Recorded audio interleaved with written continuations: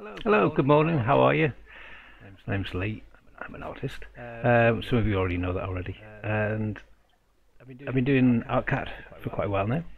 Uh, so basically, every Saturday, I kind of just jump online and let everybody know what I'm doing, what I've been at. We talk about different things. We talk about different artworks that we're doing. Uh, it's about you and the artworks that you're doing, and questions you might have with your artwork, and problems you might have, and discussion that way. I'll talk about what I've been doing.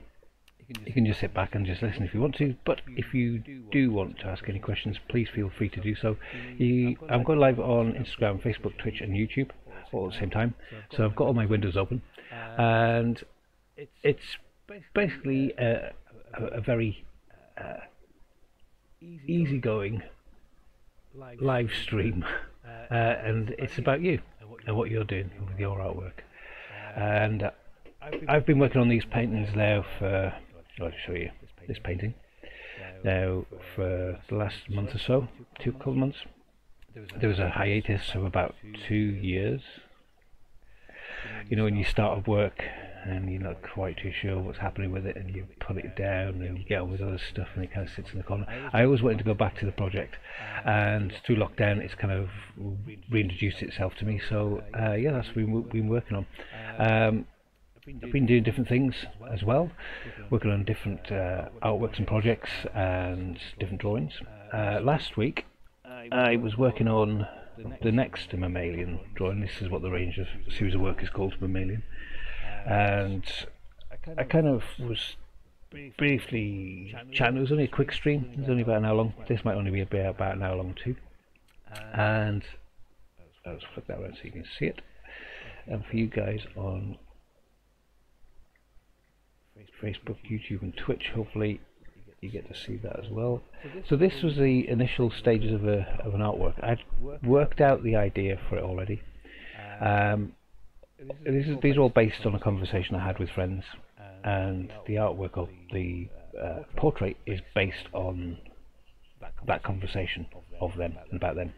Uh, the only question I asked of each person was if they were an animal, what would they be? And in some format, I've worked that animal into the picture. So in this particular one, Damien, uh, he actually chose two uh, for a really good reason. He, he had done quite a lot of uh, thought, put a lot of thought in behind it. So we have a wolf and a baboon, and I decided to kind of. Damien's a really funny guy as well, and keep that sense of humour to it. They've become the flock wallpaper in the background, so it's like a repeated pattern. Uh, so I've initially sketched out kind of the positioning of the baboon and the wolf. Um, this is his portrait, it's actually the back of his head. And we've also got uh, down here a little photo strip that you get in a photo booth.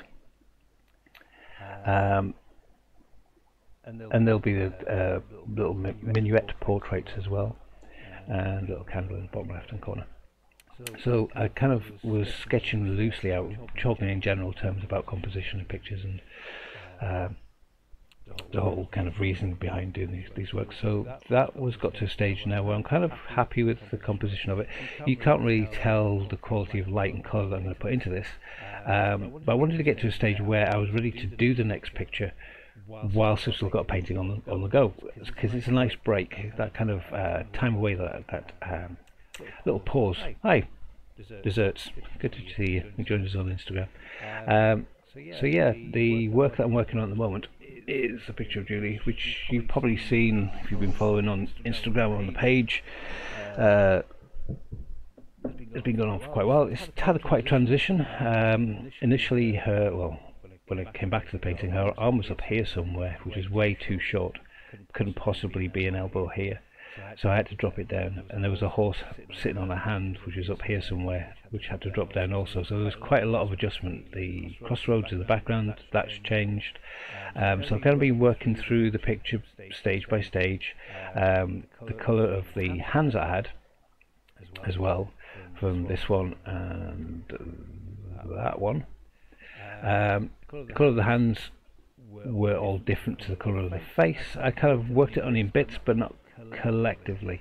And, it, and it kind of that period of time away from the painting made me really see a lot of the errors I was making in, in the work. I was kind of rushing to do everything. I was kind of all fired up and painting bits that were good and bits that were a bit sloppy and there was no cohesiveness to it and there was lots of things wrong with the composition. So it's kind of slowed me down and made me look at the work in a new aspect and start to change and rectify it. So we all have that problem is um, once you're painting something you kind of like, if it's in the wrong place you don't want to change it and you'll kind of make excuses for it. I kind of went, nope, that's not good enough. I have to change the things that are wrong.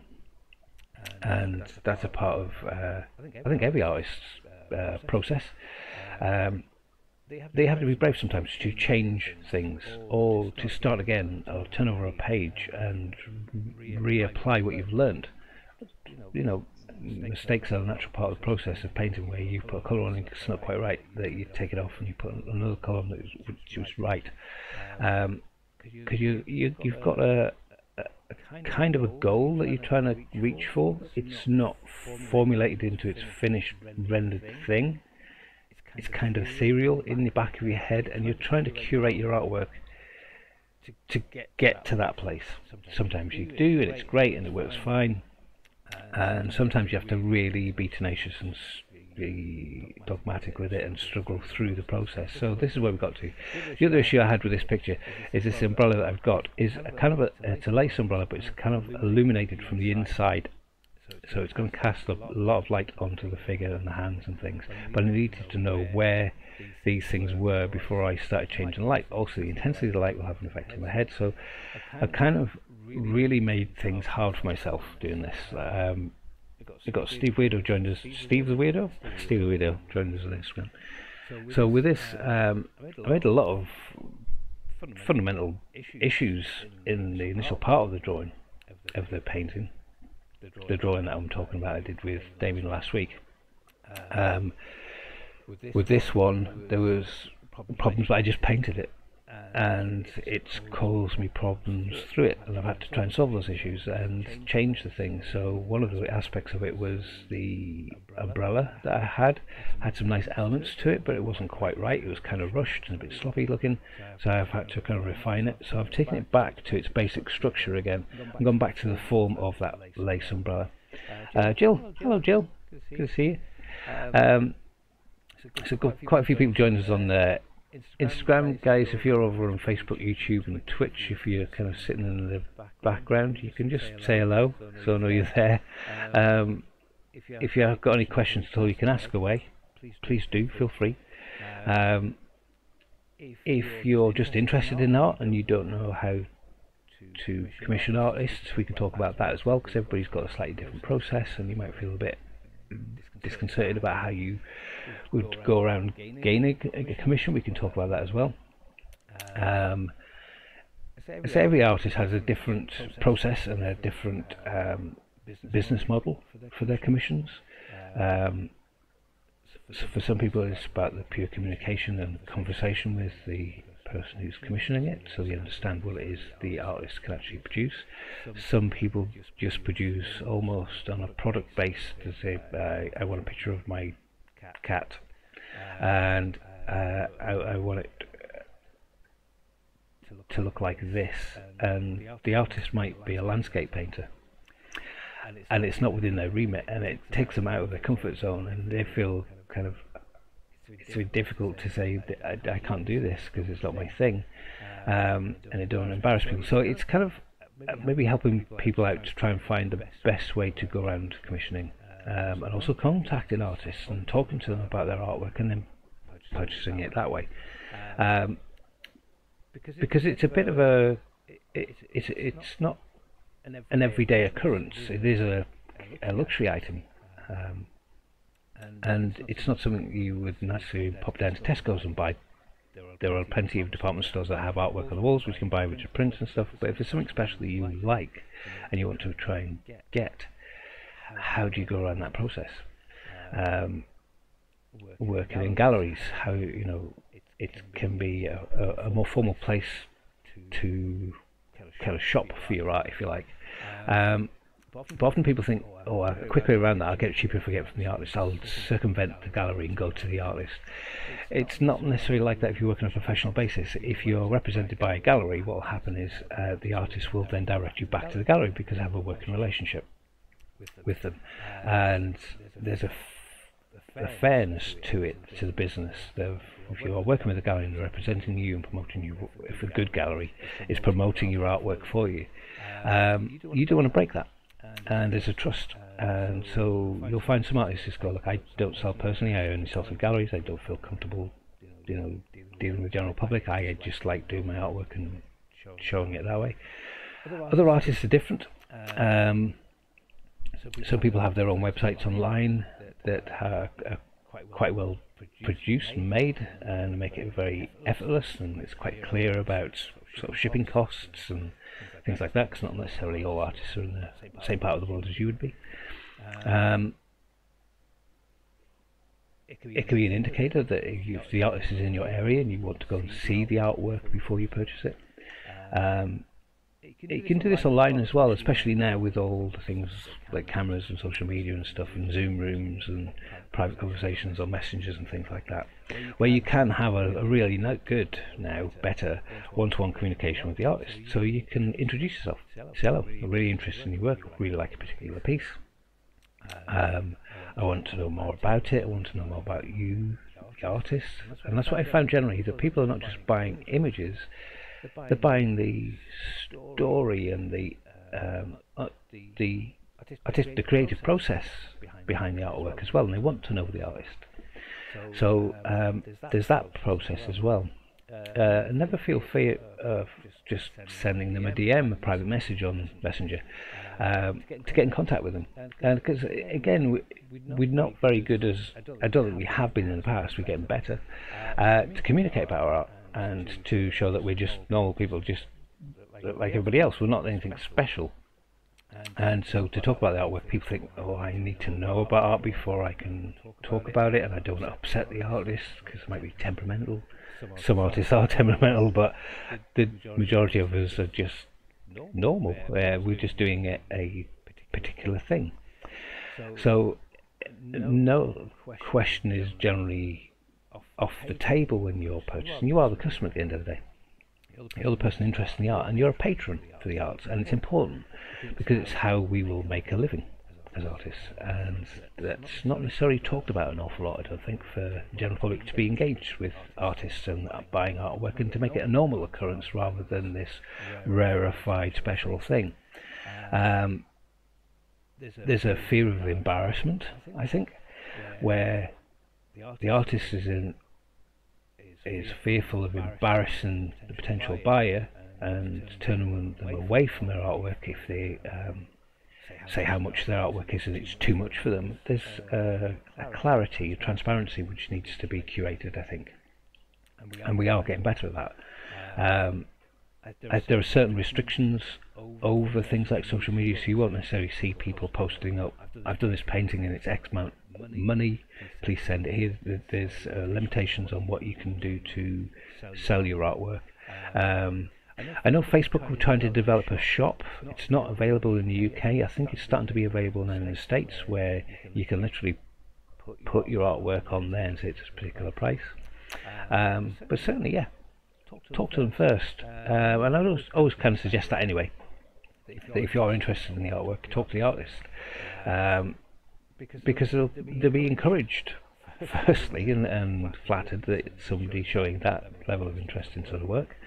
Um, but it's not necessarily all about the sale either. For the for most artists, it's about creating the artwork, and the sales is the facilitator of their business.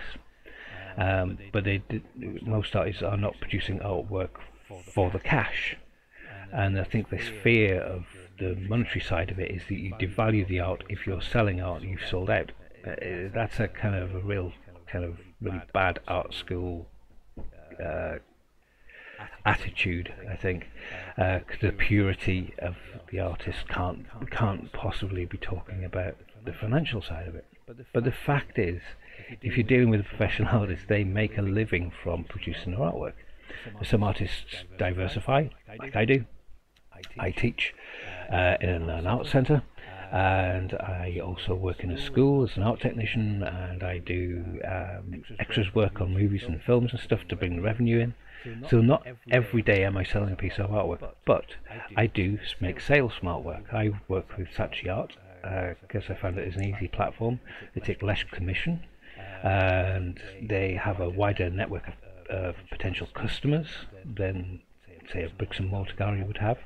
Um, not to say there's anything wrong with bricks and mortar galleries, but when I talk about bricks and mortar galleries, I'm talking about the galleries that you'd find on the high street. Um, if you've got a good gallery, they will promote your artwork and sell both the artwork that you've given to them to sell, but they'll sell you as well. And they'll, they'll curate and help develop you as an artist. They'll give you feedback, much needed feedback on, on your artwork, a direction in which you're going, an understanding. Exhibitions where it's purely focused about your artwork and getting across and communicating the of what the artwork's about. They're doing it online now. Uh, they're making YouTube videos. They're promoting it outside of waiting for somebody to walk past the window, see a picture, and go, "Oh, like that, might go in and buy it." That's maybe the older model. They may have had a stable of uh, potential uh, buyers that they would have curated over a long period of time. Um, and good galleries work hard. So if you find a good gallery as an artist, you kind of you're really happy because that's somebody who's going to look after your work. With the invent of social media and websites and things like that, it's made it much easier for artists to do some of that for themselves and curating their place in the marketplace. You know, if they find other artists and, and online galleries outlets that um, are more specific to their type of work. So as a, as a as a potential buyer, if you're just going to any old gallery to try and find a particular piece of, say for example, you like portraiture, um, and you just go into any old gallery going, have you got any portraiture? Um, you, are going to find that sometimes you're going to get no's and it, it, they'll kind of be showing you stuff that you don't like and it's how you can now start to curate yourself. When you're looking through Instagram and you start following people you start to get feeds or fed through artwork that you that uh, is more tuned to your tastes. So it's become much more personal individual and much more effective that you can start to curate the potential artists that you might want to buy into, both financially and also artistically as well. Um, a lot of artists now are doing little kind of snippets on Instagram, Facebook, YouTube, and Twitch, and they're doing sort of live streams, or they'll be showing you a work in progress, so you can see the nuts and bolts, then the work and the level of ideas that go into creating an artwork, and the length of time that that takes. Um, it's not necessarily to say as well that art is uh, more expensive because it takes longer, or is more expensive because it's big and small is cheap. It doesn't quite work like that. There is a formula that some artists use uh, about paying themselves uh, a price per square inch, which overall then works out to be a certain price. But it's a subjective thing, and everybody's doing it slightly differently. And I think this is where the uncomfortability of um, understanding what the price will be. You know, it's not like a tin of beans. You go to the shop, the tin of beans is always the same price every week, and sometimes there's a special offer on two for one, three for two. Um, with artwork, it's slightly different. You're buying the experience of that artist, the um, hereditary of that artist, the length of time that they've studied, where they've shown, the professionalism. You know, if you've shown somebody who, if you're buying from artwork from people who have um, become more established and, and had big exhibitions in well-established uh, places like, I don't know, the Tate Modern, or if you, you know, a museum or something like that, you know that their artwork has reached, attained a certain level, that they're not necessarily doing artwork for a couple of quid. Um, there are lots of people starting out, and if you're kind of just starting off yourself, uh, you might want to support local artists who have produce work that you kind of like. It might not be the best artwork in the entire world, but it, you're comfortable with it. And that's fine. And you might find that their prices are a lot more to suit your budget. So it's understanding what it is you're looking for, what your budgetary guide is. You can find artists out there that will produce the work that you like, you just not necessarily in the same budget. Um, or their experience as an artist. It might be that they're just a hobbyist and they're kind of doing it on the side, and there's no longevity, like a, a concentrated art career. That they are doing other stuff, so it can be a bit hit and miss. And you know, are you buying the artwork? or are you buying into the artists? and the artwork as an investment for the future and understanding of the growth of that artist is going to be continuing to paint and do and create well what works ongoing from there. and you can see the value in your artwork not just uh, monetarily but artistically has a greater importance. Um, if you're looking for a straight commission you want to um, paint get your dog painted. that's fine there's plenty of artists out there who are doing that as well. Um, but look, for artists who are producing that, or a particular. If you've got um, a good idea that you haven't seen expressed anywhere, and you like certain aspects of certain, say, the way people use colour, or the way people use composition, although you have the way of use of the imagination, and you've got an idea that you can't um, see anywhere else, that's when it comes down to the commission process, and it starts with a conversation. So um, yeah, it wasn't really going to be. I hadn't had that in my head to talk about today. But if you've got any questions on that type of thing, ask away. If you're an artist and you're unsure about how to uh, deal with commissions. Um, or issues and problems that you may have had through commissions, we've all been there. Um, and I think this sort of standard practice now is when you have talked it with through with your client about what it is they want and you've worked out um, prices and timescales as well.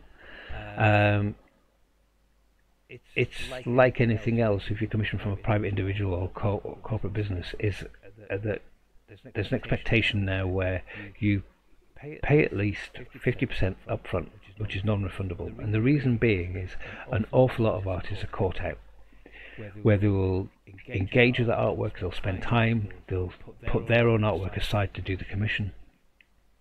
They'll be working away at it, and then the client changes their mind. Now you will find with some artists, if they have that communication, they'll be quite happy to refund the money, but that's on a personal, individual level. It depends on the communication you have with your artist. Um, say for example your house is flooded and you, you know artists are human beings. They'll go listen I fully understand that. This is out of your control. I will get this back to you. I understand why you can't go ahead with the commission. Some artists are generally like that. if you spent a long time curating the artwork and putting an awful lot of energy uh, money into it yourself not just the materials but your time you need to recoup that back as, as an individual. So, um, nine times out of ten, you'll find artists asking for 50% upfront and the rest on completion. But they will keep good artists keep you informed about every step of the way, every process. They'll be talking to you. This is what I've been working on at the moment. I've been kind of doing this, and it's developing. Um, but there's a balance to being involved and kind of trying to hold the brush of the artist as well. This is where it kind of gets a bit muddy. Um, where the initial stages of this painting have been all over the place and it's starting to be refined. Now it's not for a commission, this is for a series of works that um, hopefully will be exhibiting together. It's a different thing than making artwork just to sell. Um, it will be available when they're finished but um, this is more important for me to do the artwork, to feed my artistic side of it. Off the back of it, commissions come through because they've seen this particular artwork and have a conversation with me, and that might open up a different revenue. Um, but yeah, so when it comes to actually seeing the artwork and talking with your artist, make sure you've got a personal connection to them. That you've got how good are they at communicating or getting back to you? You know, if they're in a different side of the world, uh, doing in a different country, uh, understanding time zones and things like that. But if you send them a text and they haven't sent, replied back to you in five minutes, they might be asleep. Uh, and it's little things like that which we need to kind of understand. Um, the other thing is a little bit as well about shipping. You know, it's not cheap to move things across the planet. Um, so it's to understand how much that is and who's taking care of that. Is it involved in the entire price or is it something that's added extra? Um, can you go around and pick it up yourself? Uh, COVID, you know, any, any number of things. So if you're talking about um, commissioning artworks, it's not a scary thing. It's a bit like buying a house. You want to go around and see the house, you want to have a walk around it, you want to see what the areas are like, maybe what the schools are like, what it's close to, what the crime rate's like, and all the rest of it. You put a little bit of work into it. And uh, the same would be for a car, and the same thing would be for an artwork as well. If it's something you're wanting, you're going to spend the rest of your life with it. Be involved. You know, and ask the artist, talk to them. Uh, if there's artworks on there, leave comments on artworks that uh, are building that communication up. You might find a piece, particular piece of artwork which you absolutely love and want to buy, and that's actually commissioned for somebody else. Well, then, is a possibility of you commissioning another artwork, which might be different, but will have some of the qualities of what the artist produces. Um, so that's, that's the type of, type of thing I was uh, talking about. Um, so yeah, if you've got any questions. Um, I put post up the other day, I've been painting, I don't you see it there on screen, the horse and the hand. Now I've painted it, um, it's not a big blob of black paint. Uh, I'd actually oiled this out the other day, so where I had um, I'd been painting over a period of time, some of the paint had kind of absorbed the oils and it had become quite matte on the surface. So last week I basically oiled out and oiled over the um, entire picture to reintroduce the oil to reawaken the, the, surface and to see the colours as well which really really helped. I let that sit for a couple of days and absorb and then went back into working it. Um, but even now with this because some colours will absorb oil a little bit quicker than others which means they dry faster but it also means they matte down an awful lot. At the end of it when you varnish it that's when you get a, um, a more a consistent uh, sheen, if you like, and a consistent uh, colour base. Um, if you leave it unvarnished over a particular time, you might find that some areas of the painting are quite slick and glossy, and others areas are quite matte. Sometimes artists do this on purpose to create the illusion of uh, a featured point or point of focus, and they will push a matte back into a background, or you know, so they can create a, a sense of depth. Um, but for this I needed to oil out so I could see the picture again and I oiled out and I started to rework this horse that is sitting in her hand. I started to work on some of the structures of her hand. This is kind of still unpainted, well not unpainted but it's its basic form at the moment and similarly with this hand I've had to restructure certain things especially when it comes to this umbrella because she's holding on to it so the angle of the brolly handle itself has to follow the angle of the the shaft of the the, the, the umbrella. Um, and I noticed that this shaft of the umbrella is actually positioned wrongly, so it has to tilt a little bit to come out up here, whereas it was shooting out through the top, just off to the left. So it's all these little things I've kind of had to tweak and move along. Now, if I'd spent time observing what I was doing back when I started this two years ago, I could have rectified these problems back in its drawing stages. So it can show you the importance of developing your drawing or developing your painting from the early stages to answer some of the issues and save you a lot of time painting. It's not necessarily about speed, but the um, efficiency of painting. You don't want to get caught out painting something, or reworking it, painting something, reworking it, painting something, reworking it, and not understanding why it's not working. To make myself more efficient, I've had to kind of really take a step back and go through a process of breaking down what is not right or what is working with a picture and to curate the outcome. Sometimes you can plan these things in sketchbooks and in photoshops and lots of different areas but it's not until you go to the act of physically putting it on the canvas especially with something like this size this is a meter square some of the compositional elements which look okay or look good in on a screen or look good in your sketchbook don't quite work in scale when you scale them up. You suddenly realize there's so much more information that you're going to need to put in because of its size and format and little choices that you need to make along the way. Um, you can do little code studies, but when you go into actually physically painting it, there's nuance elements to it as well that you need to kind of refine and develop. Um, so that it keeps the painting alive for the artist doing it as well, keeps you engaged. Uh, but there is a, a, balance to becoming efficient and not just repainting and repainting and repainting and repainting. I've done that a lot with this painting. This painting has been very important for that because it's taught me an awful lot. Uh, and I am that kind of dog with a bone that I'm not just just gonna give it up and not bother painting it. I actually want to get the painting done because it's an image in my head. It's also part of the whole mammalian um, uh, series of work, so it's an important piece. And if I had not bothered finishing it, or just set aside and went, ah, I just won't bother doing that one, I would have been frustrated by it, and that would have affected me in a different way, which would have been more um, more frustrating, and would have left me with a sense of well, we can talk about failures. That uh, yes, I failed because I put the arm in the wrong position, and the umbrella wasn't quite right, and the face was wrong, and the hands were wrong, and blah blah blah. You could look at that as being a failure, but I just see that as a development issue. Um, so it's how you uh, approach areas in your work which need refining and developing.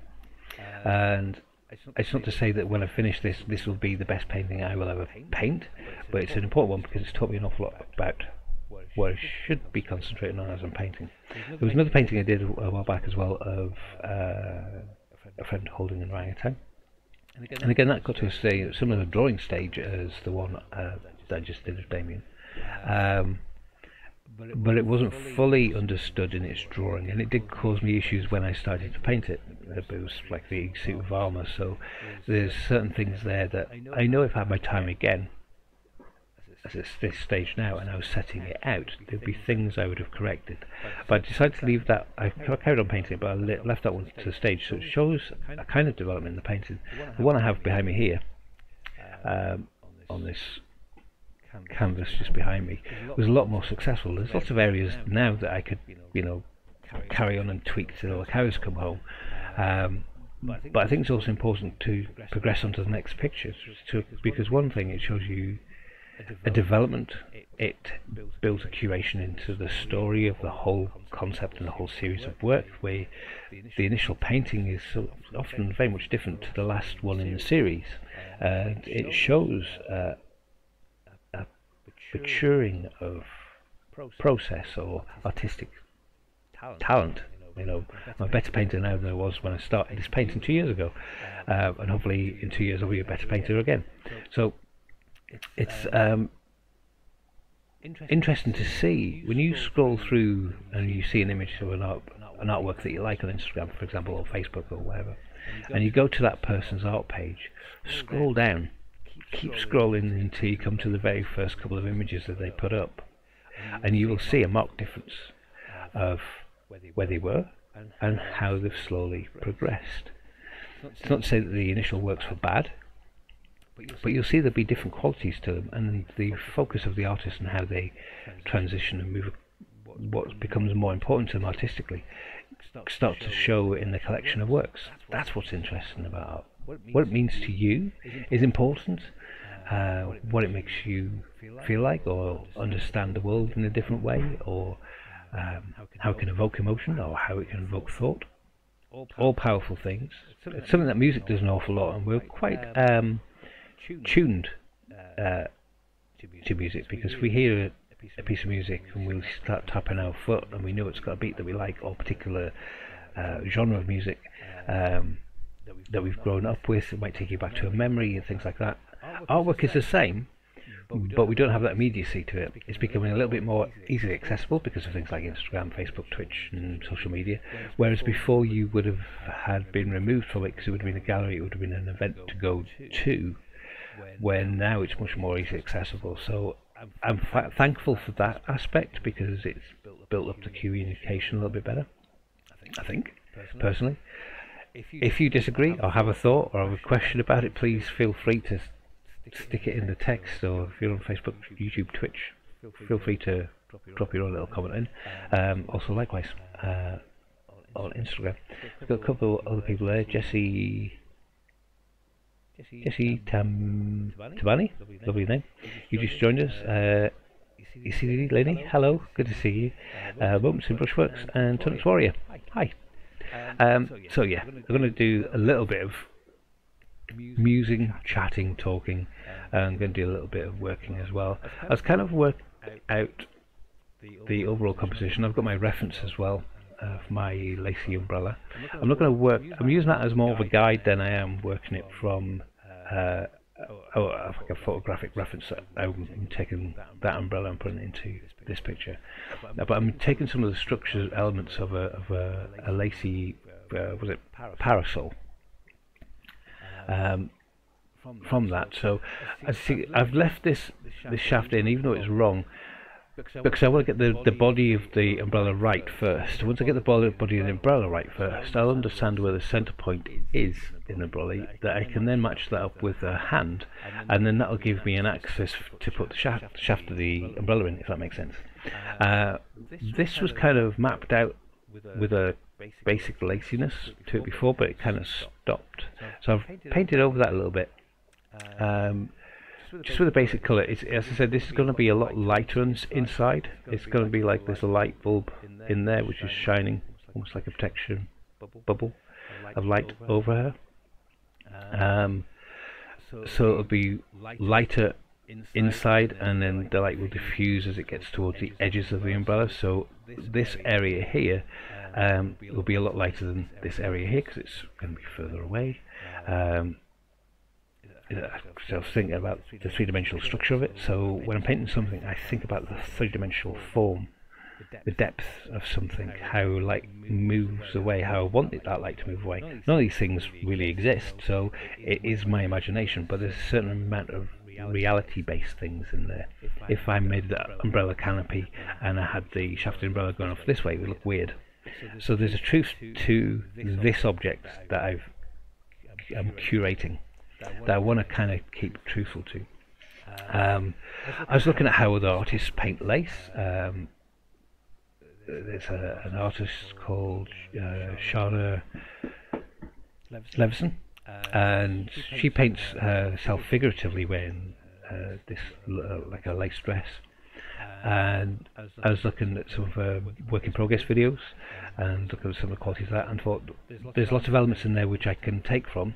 I'm not copying her, but I'm using her as a reference to understanding maybe how to, to render some of these things. But I understand that first, before I do any of that, before I get stuck into doing the wonderful uh, intricate detailing of, of all the different colour shifts and changes, which are really subtle, I need to understand the structure of it. I need to understand the structure of the lace on it. And that, first of all, starts with the shape and the basic format.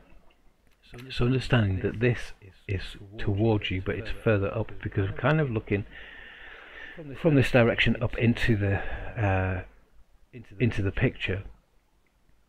That although this is the leading edge and this is the closest thing to us, I'm going to get detail going in and around. So this area of the back of the umbrella comes right over the top.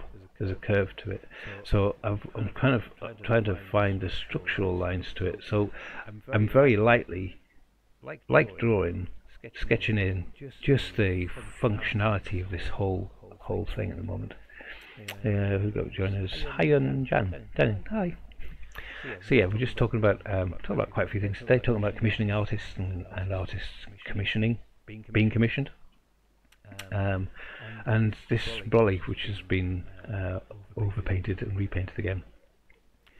So what the, I noticed there was like on, on my reference, I've got like a band of these dark lines that are not on the edge necessarily straight away, but they start off um,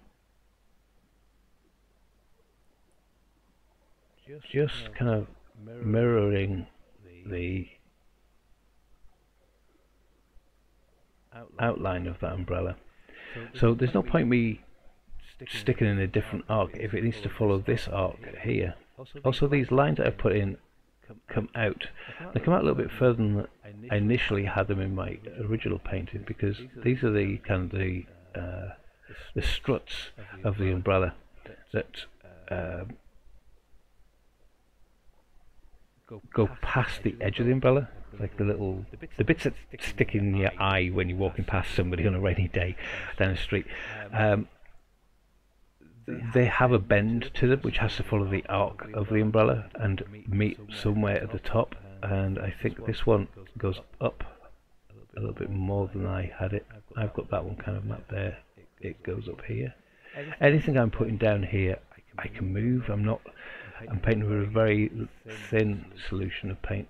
And although I'm using a I'm using an ivory black which has kind of a translucency to it anyway that all the colours I'll put over the top of this as I start to paint it that I can this is literally just drawing out where things are. So um, as that line comes to that edge it's going to then start to come out and follow the axis of that arc going around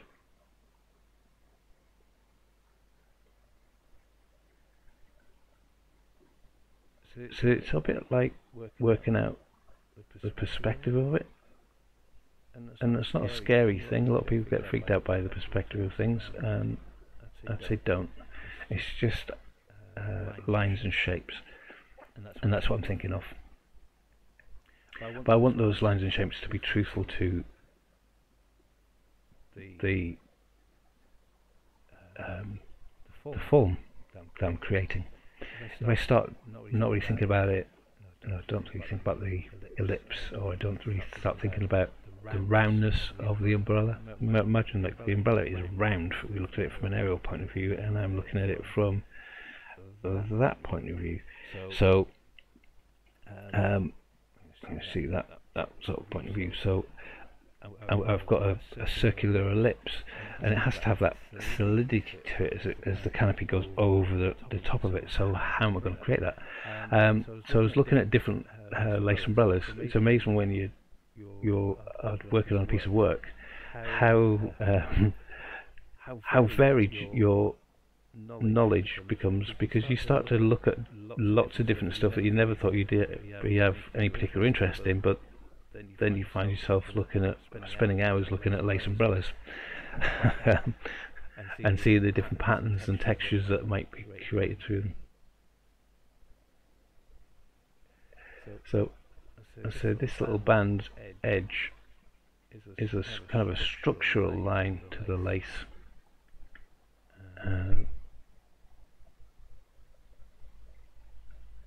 and it was as well that it's not flat between the these kind of struts that come down, it's not a flat piece of material. It's slightly sunk or it's slightly bowed, and that affects light. And that's one of the things that when you're researching something, you start to really see how things are constructed. And it helps you render them better. It helps you paint them because you understand the form and the shape and how light will hit it and how light will pass over it and how that will affect colours. Um, but the beginning part of it is structure, so that's what I'm working on today.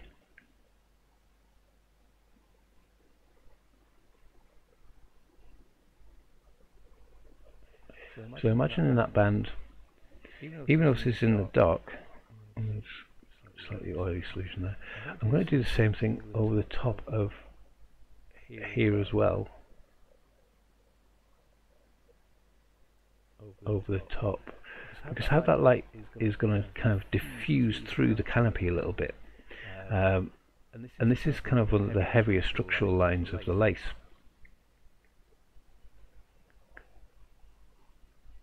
So how that it kind of dips into where that strut is, and as it comes out over the top, I need to follow the same di distance from the edge, follow the arc down to the next strut.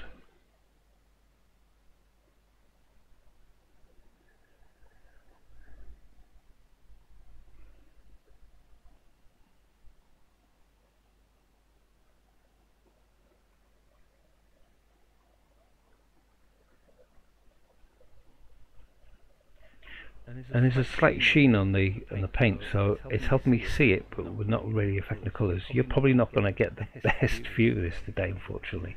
Um, and again, if I just sort of zoom that in a little bit, hopefully you guys can see that on YouTube, Twitch, Facebook. Sadly, with Instagram, I can't zoom you in and out. Um, one of the limitations. Uh, maybe they'll figure it out in future developments. Um, so yeah, how that bends across that arc. So some of these arcs look longer, only because of their perspective. Some of them are shorter.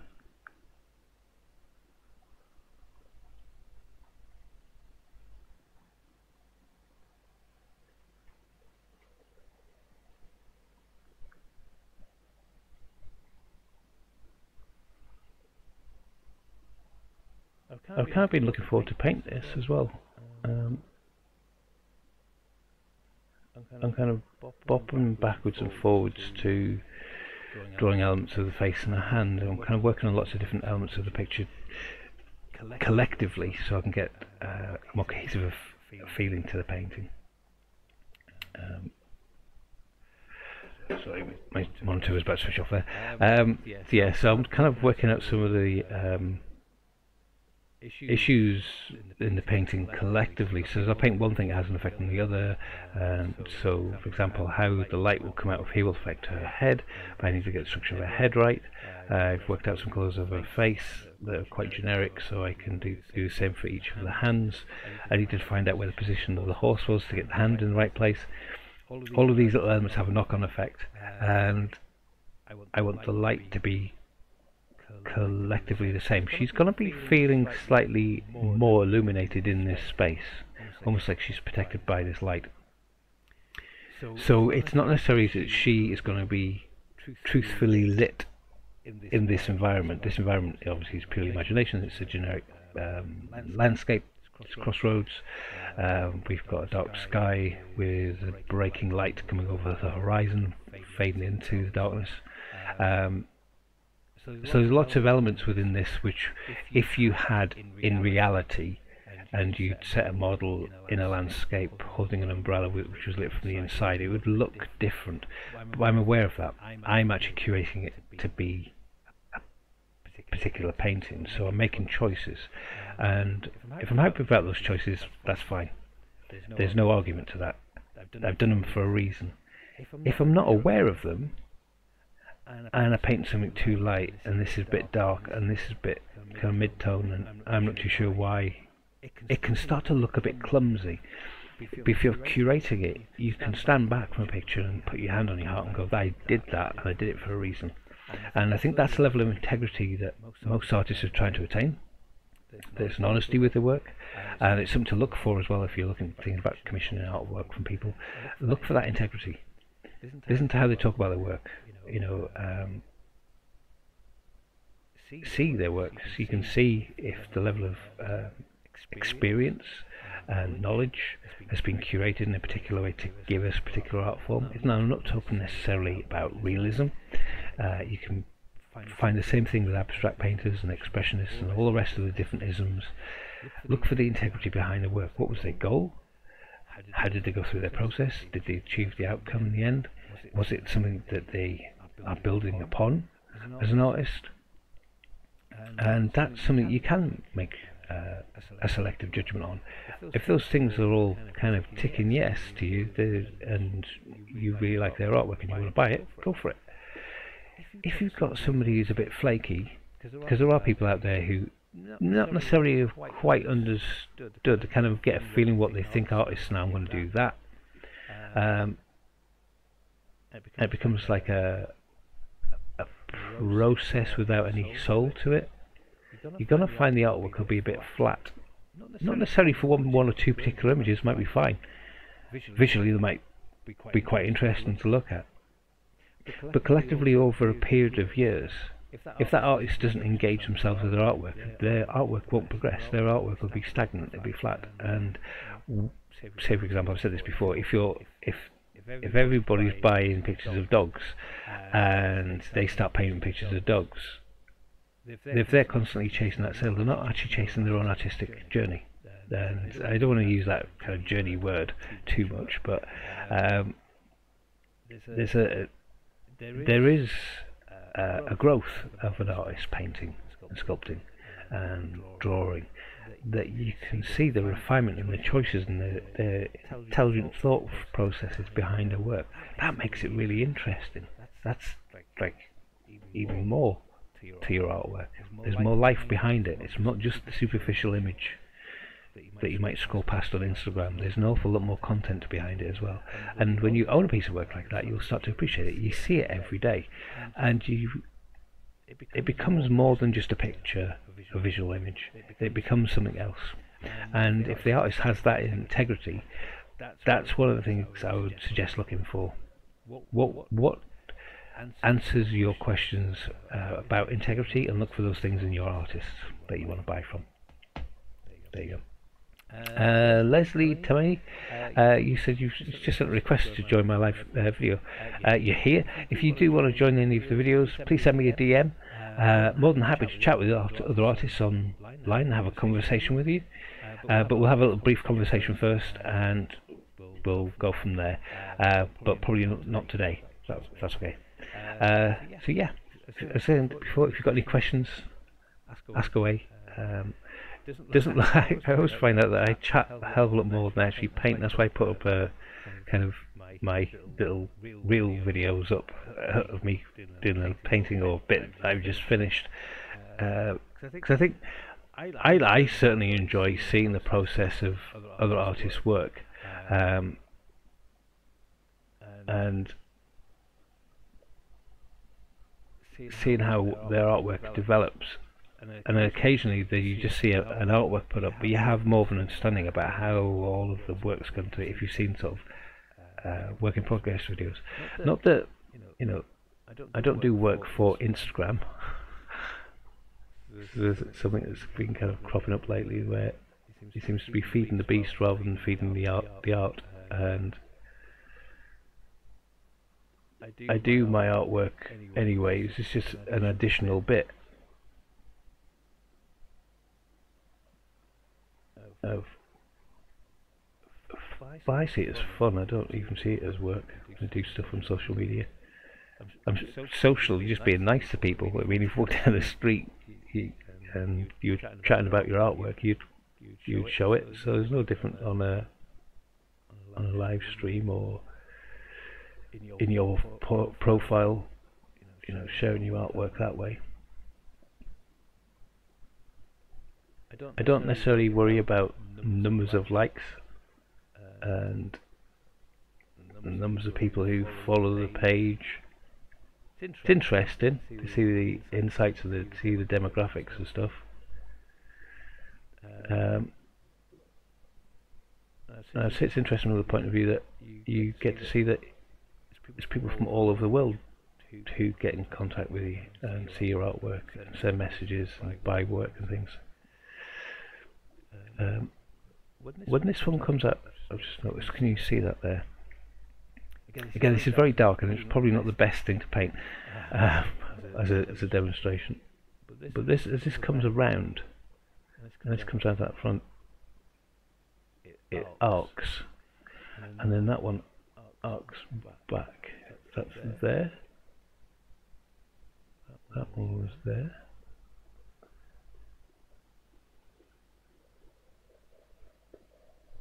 There's a shallowing of the next line up. So how these lines are just set flat, quite equidistant apart, as it, as it starts to bend around a corner, it's going to naturally get narrower.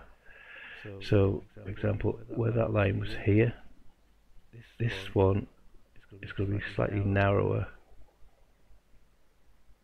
above it, but as it comes out, widens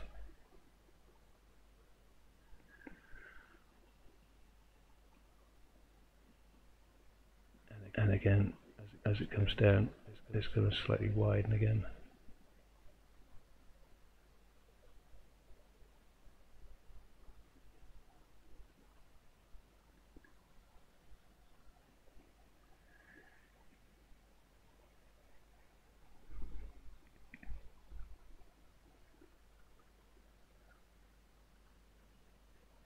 Every artist is different. Every art, you know, sort of develops, refines their own practice. Might have gone through a specific. Um, oh, that was a lovely summary of artist's journey. Oh, what paints me? Yeah, thank you. Uh, what I think. Um, I've, I've been listening to so many different podcasts and streams and listening to different artists talk, and they're all different, and they all have different art backgrounds and art training. But the ones I really, really like are the ones that have integrity about their artwork and their process and their passion for what they do, and it comes through and it infuses everything.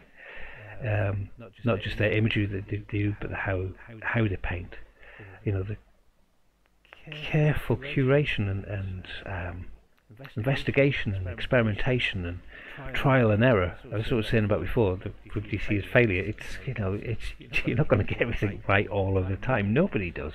You know, even professional artists hit a bum note when they're, given a gig to say 10,000 people. Apart from Prince, I did see Prince once. He never hit a bum note. Uh, but without it's like you see them you know, put a paint and go, oh, God, it's the wrong colour. or, you know, they kind of sketch out. Oh, some artists have a beautiful technical clarity to what they do and they're very methodical. Um, I'm more sculptural. I'm messy. And I like figuring things out and pushing things around until I get into the right place. It takes me longer. I, I don't know it's masochistic, but I quite enjoy that kind of investigatory kind of finding your way through an artwork. Um, it keeps it alive for me. You know, there have been times that I've drawn a picture and it looked, it felt like it just fell off the pencil. And I sat back and going, wow, that really worked. Then the image is really good, and I can't remember working on it because everything worked well. Great. You know, if I do more, I should become more proficient, and I should um, not have so much. Uh, questioning to do. But in things like when you're painting, you're making decisions all of the time. Where does that shadow go? How far is that far away from that? You know, um, what shape is this? What tone is this? How does that tone shift from dark to light? All those elements. Um, do I want something to disappear into the background? Do I want something to, to be clinically sharp and right in the front? Do I, what type of mood do I want for the picture? All of those different types of things that you're trying to curate is more than just a technique, it's the artistry. So there's a balance between these two things. Yes, there might be a specific technical way of doing something better, but artistically, is that going to help you? If it is, do it. If it doesn't, don't do it. You might need to find another way. And that's the development of art history, you know, artists finding their own way of exploring and expressing themselves it's not just about pure expression. There has to be some balance with the technical side of it as well. Oh, Angela, hello, good to see you. just joined us. So yeah, uh, today working on this Broly. Uh, we've been talking about commissioning artists as well, uh, about like how you go through that process. Is it uh, more complicated than it needs to be, um, or have we got better at it? I think some artists are doing it particularly well artists are very clear about their work and how much it is and where it is you can buy it from, and they're not. Um, I think what they call it on on YouTube. I think they called it shilling, uh, where they almost like put an advert in, and it's really clunky sometimes, and they go, and this week we're sponsored by blah blah blah.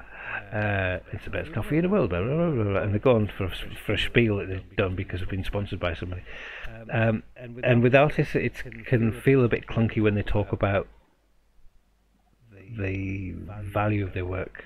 About there's artistic value and monetary value.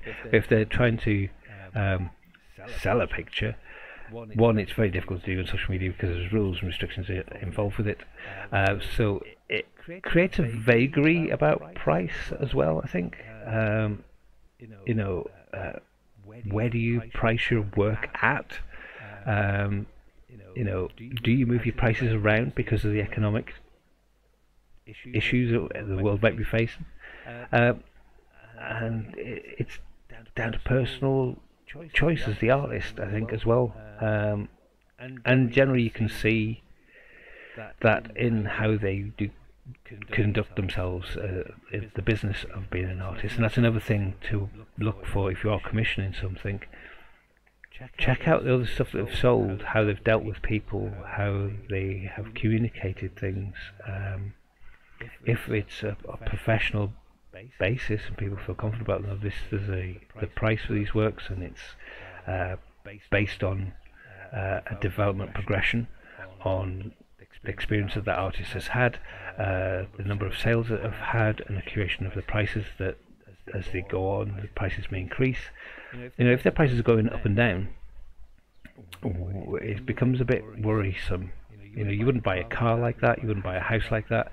Um, yes, being house my house price crashes, that might not be a good example. What I mean is, like, if you went out today to buy a car, and it was ten thousand pound. You went out tomorrow and it was uh, a thousand pound, and then the day after it was twenty thousand pounds. You go, what the hell? Why is the prices all over the place? No, this is an investment. I don't want to. I don't want to buy something that's that volatile. Um, and I think that's the same thing for art. To be aware as well. If they're trying to chase the market with their prices, the, the generally doesn't work. If you've had a consistent uh, good grounding in prices to begin with, and there's been price uh, an understanding of where, where you've entered the market at, as in your experience and your the quality of your work. Um, that can rise quite quickly if you make a lot, lot of sales. As you produce more, you're producing your work. You're not there's more demand for it. The value of your work can go up. Um, if the artist has gone, no, whatever I produce, this is what the price is going to be because this is how I work my business model. That's fine. Um, but if you yes, say if you find out it's kind of lifting and dropping prices to kind of, or they're kind of being vague, trying to check out if you've got money that might be a bit more, don't bother buying from them. That, there's a level of integrity there. If the artwork is that price, it is that price, and it's the same price for anybody, whether you've got lots of money or whether you've had to save up for it. You know, the price should be the same. It shouldn't be fluctuating around. It shouldn't be one price for one person, another price for another person.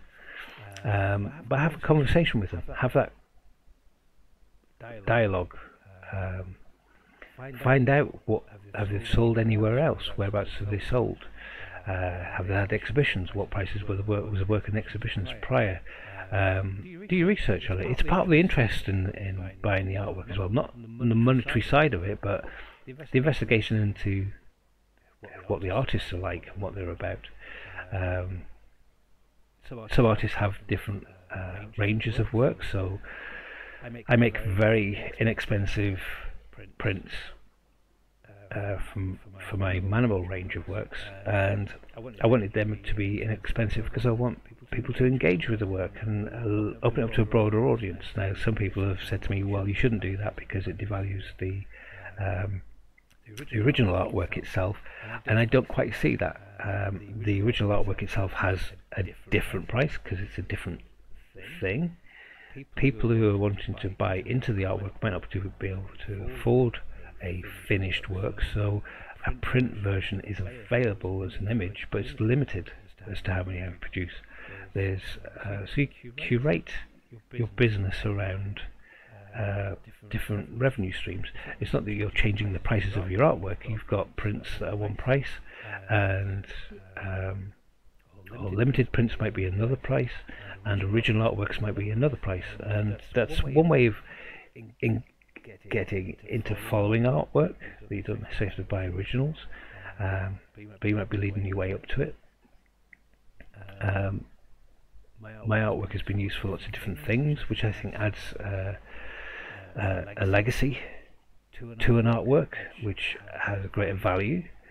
So um, artworks that have been highlighted in articles or interviews or have been in television uh, through competitions and things like that. You can win a competition and the artwork's not for sale at that time, but in 10 years' time it might be worth it, uh, available for, for sale. That because of that um, legacy, it has a story behind it that provenance starts to build. It adds uh, an intrinsic value to the artwork as well. It becomes. I've had drawings that I've done which have had a real significant importance for me as an artist developing, but also a personal importance, and I value that um, in the artwork because it, it's of, of its provenance. Um, it doesn't mean to say that the other artworks done around that time that didn't necessarily have the same story behind it are are less than, but they just don't have uh, the additional attributes of provenance as well. So, for example, if an artwork they did as a self-portrait that was sold in um,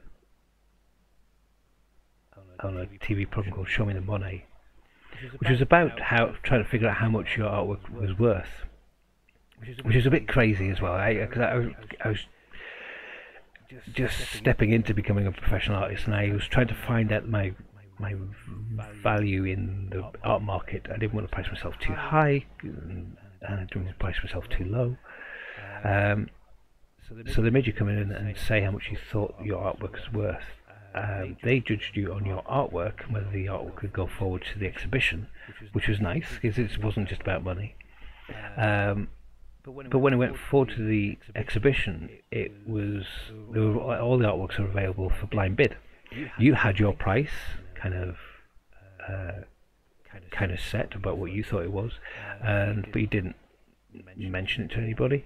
Um, and then people would bid on your work. And I had undervalued myself by several hundred pounds. and I started to see and understand that I might not sell a piece of work every single day, but I, if I was to undersell myself as well, because you have to take yourself, you have to be honest and important with yourself. If you're underselling yourself and you're doing everything for 50 quid, you're not going to make a living from it. You might be constantly bombarded with doing stuff that you don't want to do, so you have to curate your art side of it. Uh, and there's also value to what you do. It's not just monetary terms. It, it's say for example, if you had a an electrician come round and he said the price of you of doing the job for you is this because it's going to be this amount of time. This person is going to be using uh, these materials and it's going to take two men to do this job. Uh, there's a clear sort of price structure. If you were to calculate the amount of hours I've spent on this painting, but where I am value-wise in the art market, I am not producing it on the same way. It's not the same thing. I can't produce like for like. It's not hours and time into a work, therefore it is this price. Because I might have had to work all those hours to get to the stage of a painting that will help me progress as an artist, but I've had to work longer on it, like the overtime. Um, so working on private commissions is slightly different. Working on your own work, um, I don't think of sales. I don't think of value money-wise. When I've done the work and I've completed it and I step back from it, I have a better uh, objective view of the, the work and I can see where its monetary value may lay. Um, and again, and again, where you sell your work, that also has another thing. If you're selling it through galleries, or if you're having a show in a museum and the works are available for sale, there might be a commission. You need to take that into account. If that commission is added on top to your value, are you pushing yourself out of your price bracket? So you have to kind of marry these things up. Is it a possibility that you'll sell more collectively in an exhibition because the gallery itself has done an awful lot of work to curate a show? Um, therefore, you'll make more sales. Then all of these things have a have uh, impact uh, to pricing. So it, again, I think it's an, it's one of the subject areas that a lot of artists feel comfortable talking about, and I don't think necessarily we should. Um, it's not to be cocky about things, but if I was a plumber, I'd get paid. If I was an electrician, I'd get paid. If I was an artist, I need to get paid. Um, so sometimes you get this as well from people commissioning you that I've found that uh, this is corporate. I do because I do corporate commissions as well. That um, they'll see what special deal they can get from you and which is okay. There's always a fle- got to be a flexibility to something. to some things where you go, look, if I can help you out and this is going to seal that you want me to do this for you, I don't mind being a little bit flexible. But what I'm not going to do is undercut myself. Um, I'm not going to be negotiated down in price, as in it's. Uh, you know, or you put your artwork up here for free for us and we'll tell loads of people about it. Well, that's not good for me because uh, I can't eat that. you know, you don't go to Tesco's and buy food that way. Oh, you know, let me, you know, just take this food home. I'll cook it and eat it, and I'll tell people about it. You know, that'd be good, wouldn't it? Um, which is basically what an awful lot of artists are being subjected to, and that's that's em embarrassing for everybody because it's hard for an artist to go, look, I'm just not interested because I there's a value to what you do. There's an eagerness to an awful lot of young artists, I think, to get their artwork out there that will do anything, and sometimes um, you do things for the pure experience of it that are not, don't have monetary value in it, but it's about the experience and gaining experience, and that's understandable and that's fine. But you don't want to set that out to be a business model because you won't make a living from it. Uh, when it comes to pricing, it's not about undercutting everybody else. I've seen that happen as well, where um, look, I know that person said they'd do that dog portrait for you for 200 quid, I'll do it for 50 for you, it's not about undercutting your your fellow artists, but it's valuing and respecting your artwork because that's why I think the value of art in in the general for the general public is very hard to kind of see because the prices are all over the place. I'm not saying that there should be a price structure for all artists. Um, if you paint one head with two hands, it's this price. Funny enough, that's where it used to be kind of uh, sold that where you commissioned a painter back in the past, they went, well, you know, we're going to have two people, and it's going to be this amount of money. If you want me to do the hands, it's going to be a lot more. Um, people say, oh, look, he bought a painting and it had everybody showing their hands. He must have paid a fortune for that. It's not about that side of the monetary side of it. That's crap. It's about consistency. It's about integrity. It's about valuing you, yourself as an artist, but also valuing the artist that you buy from. Um, it's about a longevity. It can be an investment. If you can see the trajectory of an artist and they're on the rise to do something amazing, and you've found them just at the beginning of their art career, but you have a true belief that this person is going to do something, it might be an investment. Um, I think when it gets into the rarefied air of artworks become worth millions and millions and millions of pounds, that's far removed from the artist ever producing it. And to be honest with you, nine times out of ten, the artist will never see any of that money. You know, once you've you, you've sold that painting once to one person, there is no resale rights, unfortunately. Unfortunately, um, where you're getting paid for everything else above and beyond what that artwork does after. You can hold copyright to it. It's different the artwork, the artwork itself, um, it, you won't get value from that back. But where it comes from the copyright side of it, they can't do anything with it. So you can do th things with copyright yourself as an artist. And I've copyrighted my image out for, for certain things. So there's a theatre production that was just about to go ahead in Paris. Sadly, because of COVID, it was cut short. I'm hopefully they're going to get it back up and going again. But it was a production of Harvey the Rabbit.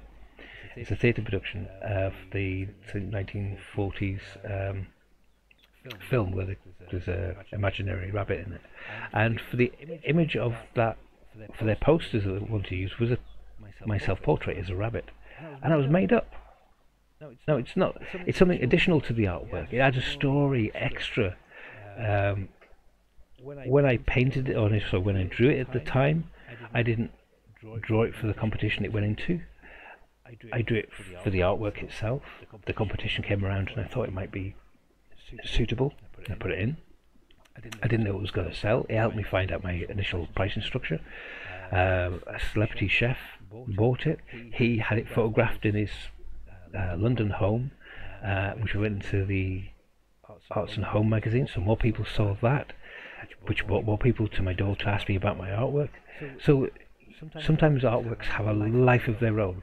but you own the copyright to it. So last year somebody came up to me and went, um, contact me via email. Love your work. We would love to use this image. Had a conversation with them, and I leased the right out for them to do that. And there's plenty of uh, formats you can do that within, you know, uh, a one-off payment, or if they're reproducing it over and over and over again for posters and they're making sales of it, you can take a percentage of that sale. You, but you have that negotiation. So there's a business model head separate to the artist model as you're working on your artwork. You have to separate the two. Do the artwork first, and then curate your business as well. Uh, you find that from a lot of artists will do well. Um, art agents, there's some good art agents out there as well that will help you navigate the world of art.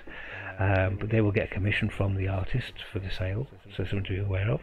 Uh, and good, good um, art agents are worth their salt. They're good because they curate people. They find opportunities for their artists. Um, they put you in places that you'd never thought of or had a hope to get into by yourself, but if they're curating lots of things together, they can help help you that way. Um, but you as an artist have to build that community, that kind of uh, relationship up with them as well. What's expected of you? What do you expect of them? Get a contract. Get a contract. If you work with a gallery, get a contract there's a lot of things to do with the fact that artists are being screwed over is not having a contract. But if you're working in the business side of it, you need that. Uh, Angela, you're saying one of your favourite movies of all time was was yeah, you love Harvey. I I love that film. I absolutely love that film. Um, I've got it as well, the black and white version. I could try and get it's actually behind the painting. I've got a little shelf of all my DVDs. I stick movies on sometimes when I watch. Um, and one of the reasons why I started off drawing, a lot of people don't realise this, is because I used to watch an awful lot of black and white films as a kid. On a Saturday morning, um, I used to put on all black and white movies, and there'd be some sort of thriller, or there'd be a comedy like Harold Lloyd and uh, the Laurel and Hardy films, uh, Buster Keaton, uh, that type of old school comedy type of thing, but the uh, 1940s drama um, and film noir kind of movies that they've put on, the, the gangster movies of, in America and things like that, were all black and white. And when I remember the films back years later, I always thought they were in colour because I projected my own colours onto them. I had my own kind of palette and thought, and then I would see it again and go, oh my god, that was black and white.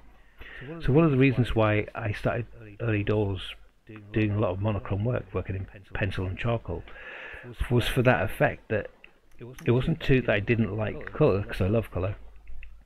Um, it was more to do with the fact it allowed people to breathe their imagination into a picture, how they could assign a colour or tone, tonal shifts. Well, not necessarily tonal shifts because it's black and white, you've taken care of the tonal shifts, but it added a little bit of interest for people to kind of see things into the picture that you haven't created. And what I painted uh, a cat once, and people contact me going, I, I, I love, I love that ginger tomcat you did. It was beautiful. And I went, how do you know it's ginger? And they went, because I, I don't know. Is it, a is it a ginger cat? And I went, yeah, it is a ginger cat. I don't. There's a, uh, almost a subconscious understanding of what the colour is going to be without actually putting it in there. So it was one of the reasons why I started working in monochrome and pencils and things. But again, it's not because I don't like colour. So yes, bit of a segue. Um, still haven't painted much of this. You might see more posts of it coming up. Uh, we will see more posts of it coming up on Instagram, so check back for that, and I'll give you an update as to where it's got to. so this is more about a conversation about art than, necessarily a demonstration. If, however, there is something you want me to demonstrate to answer a physical drawing, um, I did initially start doing that right about a year ago when I started doing these live broadcasts, and I was kind of doing little demonstrations each week, and then a follow up and a follow up and a follow up as I was drawing as I did it. Um, I just found sort of the, the chat more interesting for me as well. Uh, but also the concentration sometimes I'm not that skilled at I might look at drawing and talking. I can do a bit of it, but um, I I muse an awful lot. I cogitate an awful lot. I slow myself down an awful lot when I paint. Um, I'm a little bit quicker when I draw because I've drawn so much. It's a little bit more efficient.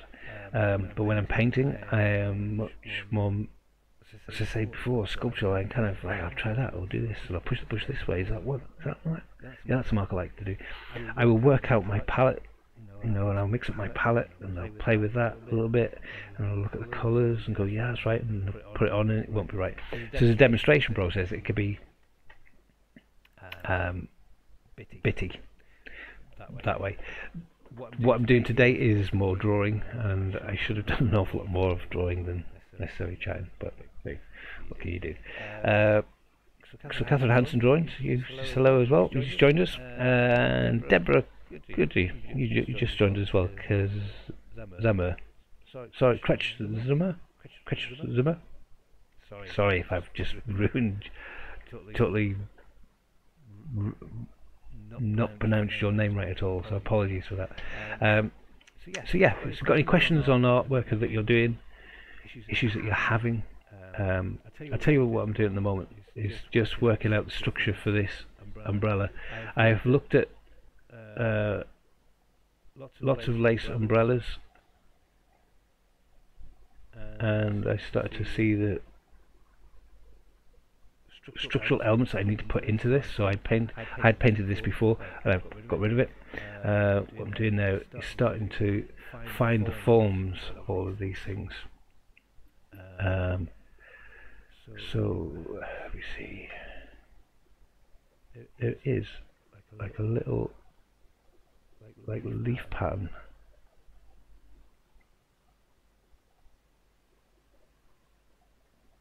This is kind of very sketchy light paint that I'm painting on. Again, this leaf pattern is going to change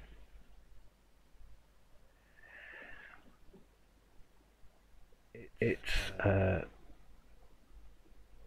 perspective as it curves around the shape of this ellipse of this one. So this one's flatter and full on. These are going to be slightly narrower because they're off to the side and more side on. So I'm thinking about that kind of spatial awareness as well As I refine it, I'm going to have play with the, the colours so that the, there'll be a lighter version. A light, it's basically going to be illuminated from inside, so it's going to be lighter here and then diffuse as it comes down here. So the colour changes won't be just this one kind of generic blue colour. It'll be a transition, so it's a lot softer. Also, light then pops through um, the canopy of the, the umbrella as well. There's light that kind of penetrates through because it's kind of a lacy feel. It kind of kind of see through it a little bit. Um, kind of be like a little bit sheer.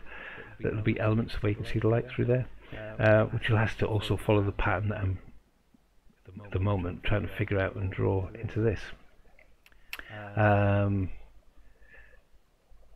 this is the second.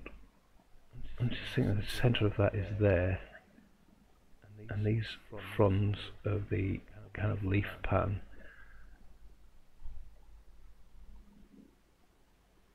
they this bows out this way. Let's see. Put this in a little bit this way. If this is the centre, and that centre line, imagine it goes all the way through there. That's the centre there. Uh, I'm not looking at the centre of this one, I'm looking at the centre of this pane of the umbrella as it comes back over the top of the umbrella that way. I'm starting to see how that kind of arcs out. So that's the centre there.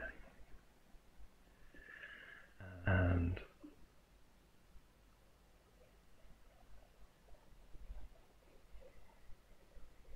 that's the centre there. You can see how that's longer on that side and short on that side because it's following that form. So I've got to think about the, the structural elements of it. Um, if that makes sense. You possibly can't see it on Instagram, so really apologise about that. But hopefully you can see it there on uh, YouTube, Facebook, and Twitch. You can start to see how the angles are going to change now as I do this. So if this is the center line uh, up to the center of this one, and the center line to the center of that one, it has a slightly different pointier feel to it. The center line of this goes that way. So center line here, so it's going to be shorter here. And longer here.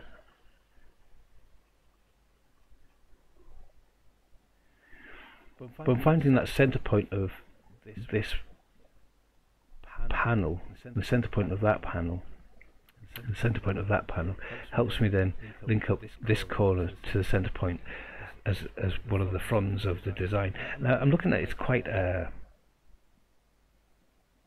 a focused area of detailing. I'm, I'm not painting detail. I'm, I am actually just working out. In fact, you just asked me a question there about proportions. Can you give some tips about proportions? You know, many people use the grid methods. Uh, what about you? Um, yeah, good question. Um, I don't tend to use the grid method. Um, what I'm actually doing now is working out the proportions of the lace that are going to be on the inside of this uh, umbrella. Um, and I just try and find the big shape first. What is it I'm doing? I mean, in this case, I'm doing an umbrella, so it's a canopy shape. So it's an oval. Oh, sorry, so it's like an ellipse. It's a circular shape uh, that has an ellipse, ellipse to it. Um, I need the arc of that top curve. I have a center point. I'll find the center point. Now that center point isn't actually lining up with this uh, umbrella shaft because I've I've changed the umbrella, so I'll repaint that. Um, and I'm working out where the fronds of this umbrella come out. What's the center point? Because the design actually comes up to the center on both from from both sides of the front. So when you're looking at say uh, a head, like like my head now, um, and I've got it turned to one side or tilted to one side, if you've got the idea of proportions hardwired into your head, how you've studied them is a face looking straight onto you, and you try to put those ideas of a proportion on a head that's tilted and shifted to one side and let over to one side, it won't quite work because the eyes won't be in the middle of the head. Um, your head's a round, a three-dimensional, that's not round, but it's a three-dimensional shape. Um, how you might sit and push your face up on one side. Mm. So you, whatever it is you're painting or drawing, find the big shape of it first. What shape is it? Because my head shape isn't necessarily oval. You know, if you have a look at this shape here, down to the bottom of my chin, up this way, over there, and then back down this way, it's got a bit more of a triangular shape with a curved bit on the top. That's the bigger shape. If I went halfway between my beard and the top of my head, what would I get to? Now, if it's straight on like this, halfway between my chin and the top of my head would be roughly where my eyes would come. But if you're talking about my beard and the top of my head, and it's my head's tilted and shifted, you might get, oh, what do you get? Let's see, half of that. You get this bit here, which is not my not my uh, eyes, but the part where my glasses hit my chin. So if I was to take a straight line and draw that straight across, what else do I hit? I hit the tip of my nose. Well, I now know where the tip of my nose is. So all of these things, where you sort of triangulate them, will help you find out the proportions of whatever it is you're drawing. So you never have a problem drawing any one thing. If you figure out the shape of the thing and draw the angle between the line, when I say angle, I don't mean 3.4 degrees. I mean literally you can take a paintbrush and put a or a pencil and line it up to see where things line up with. You know, um, if I put my head in this angle and align my pencil to the line of how my head is angled. Um, you can see where the pen pencil actually comes out. It's not through the top of my head, but this is my facial plane is here. Comes out top of my head. You can see where that lines up there. So you take a straight line from there to there, you get the tip of my nose to that point. of my head, which can help you work, work out the curvature of this part of my forehead, because that was in the center of it. So that's the apex, the top part of that curve. All of these things can start to pull together. And one of the reasons why I don't necessarily use the grid method is one, if you're working from a reference um, and you've put your uh, grid over your drawing, nine times out of ten, where those two lines cross is normally an interesting aspect of the features that you can't quite see because there's a big line across it. Um, if you get one of those lines slightly out of proportion in itself, because basically what you're doing is repeating what I'm talking about every, for every square. In each square, when you grid out, you're matching up where one line goes and where that shape goes. Well, when you're doing it for the entirety of the big thing, the, you are dealing with one square. So that's one of the reasons why I don't necessarily use it. I have seen people use it particularly well, uh, efficiency speed-wise to figure out where things are. But as you do more of it, you can train your eye to see these things. The difference is occasionally you don't. Occasionally things will go right and you need to check yourself, but things will do the same thing in your grid. As soon as you've got your grid down, you've marked everything out and you start painting it, you should the, the, the grid is useless because you're not gridding oh, you know, you that grid isn't going to stay there to the end of the painting, and you carefully paint out the grid because it wouldn't work. Um, I'd say your gridding out should be there for your initial drawing for a painting, or your initial sketch outline, and then put it away, and then start to train your eye to see the shapes and forms. Um, you know, I've seen uh, landscape artists use it as well in a way uh, they use it in a slightly better way. Um, they'll get a picture frame and have a stringed grid, and they'll place that, if they're painting on plein air or outside, they'll place that so they can curate the composition of what it is they want to paint, and then they'll quickly mark out on their canvas or their paper certain key elements of that, um, the proportions of their painting, and use it that way, which is very effective. Um, so I don't I don't say, say don't use it, but use it sparingly. Try and train your eye to see the big shapes and adjust. Draw lightly to begin with. Paint lightly. Uh, painting under painting in first. Sketch it out. the working drawing or working painting of your of your artwork figure the placement of things out first before you get into any detail. Don't start putting in eyelashes and pupils and nostrils. If you don't know where the nose is, don't put a nostril in. Same thing for the eye. If you don't know where the eye is, don't start drawing eyelashes. Yeah, I know it sounds simple, but it, it's something when we're starting off, with, so we want to kind of rush to get to the juicy bits. When you start to develop as an artist, you start to realise that it's all juicy bits, and it doesn't matter whether it's a flourishing eyelash right at the very end of a painting, or you're starting off sketching out the big shape form. Um, the level of interest is, is still there all the way through.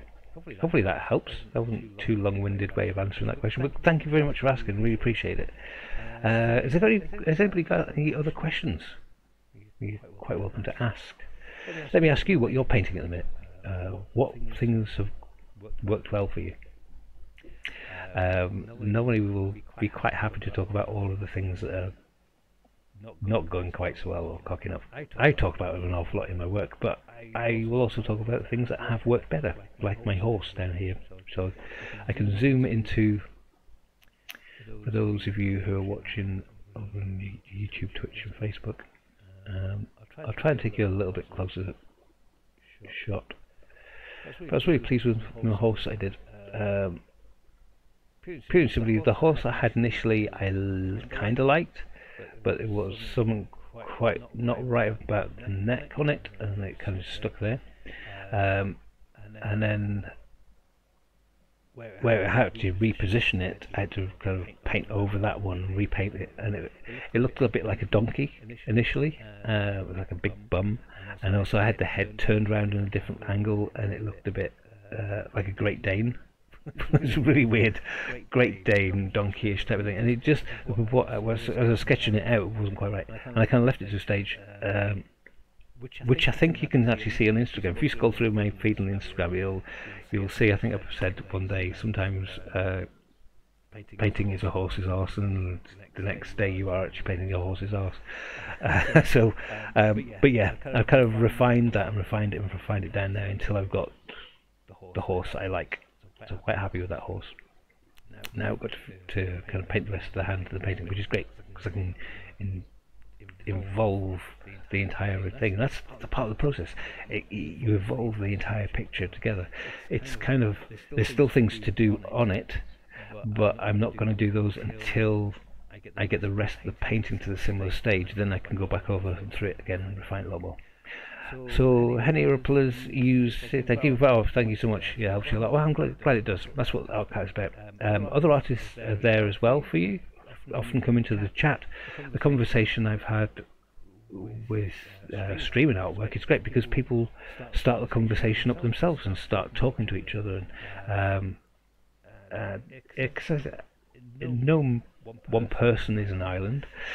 I don't. I'm, I do not have all of the knowledge in the world, uh, and every artist I know, so I know some amazing artists, still have that inquisitive nature to them still have that kind of wonderlust about finding things out. They may have a practice that they've they've refined over the years and they've become exceptionally good at it, but they're not afraid of change. They're not afraid of pushing things even further, and that's what's interesting. You see good artists, they don't, they never stagnate. They're not stuck in a rut. They are push themselves. Now, artistically, sometimes you can get a bit flat with the uh, thing that you've done or you've become known for, um, but you can change it.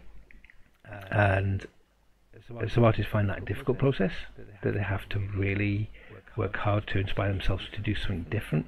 It's not change for change's sake, but sometimes change is necessary to progress uh, what you do. Uh, some artists are happy just maybe sticking with the same subject matter, people might think it's the same thing, but their painting progresses in such a way that it's so subtle that you don't see the change. Um, and the effects that they produce are, are beautiful. So, yeah, it, it's what I've learned is over the years there's no definitive answer for any one thing. There's lots of different aspects of doing things in art, and I think that's the both the wonderment and the frustration of it.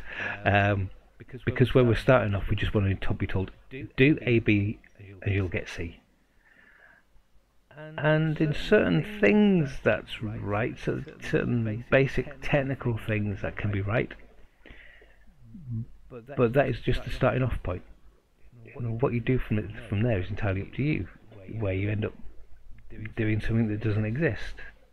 Julie never stood at a crossroads carrying a horse or carrying an illuminated umbrella. This is something that has developed through the artistic side, the poetry side, the imaginative, creative side, but it's honed with an awful lot of study that I've done of drawing people's faces from life and from doing from references and making mistakes and pick up all those things. Uh, Debbie saying, what works for you to deal with artist block? Um, I keep a little sketchbook of, um, and I don't mean sketches, they're just words or stuff that pops in my head. You know, like any, if you do anything, anything, you're cooking the tea or watching a your favourite TV programme, and you just be musing about something in the back of your head, a little thought popping. in, I write it down. You I've seen other people uh, use it as a dictaphone and put it, in, just say it into their phone, or they just text themselves a message. Um, so like there's a body of work of ideas sitting there ready to go at any time, so I'm not stuck for anything to do. Um, enthusiasm to paint on to draw. I think can sometimes be blocked externally. Um, you know, you might just be having a difficult. I've I've had this before, difficult time personally, and your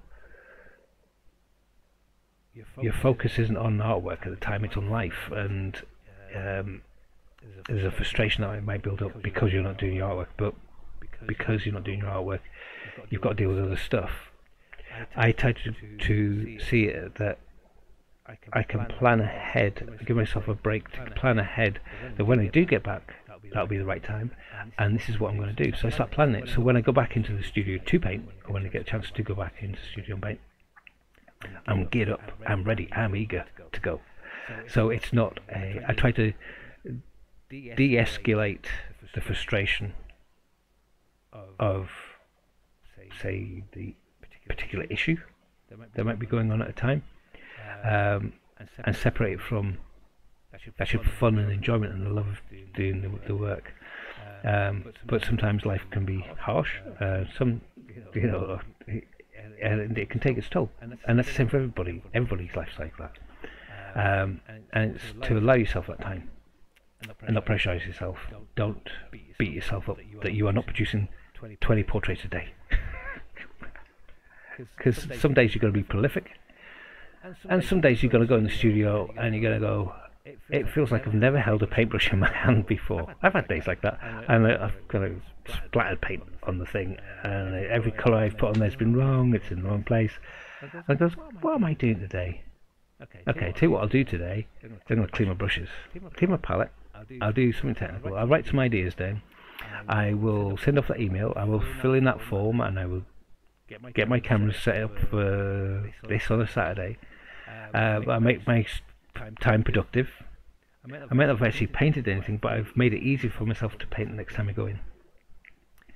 Um, yeah, but I, if it's about ideas time, uh, about you know, I've got a mind now that I've kind of trained over a period of time that I can allow to go anywhere and do anything imaginatively.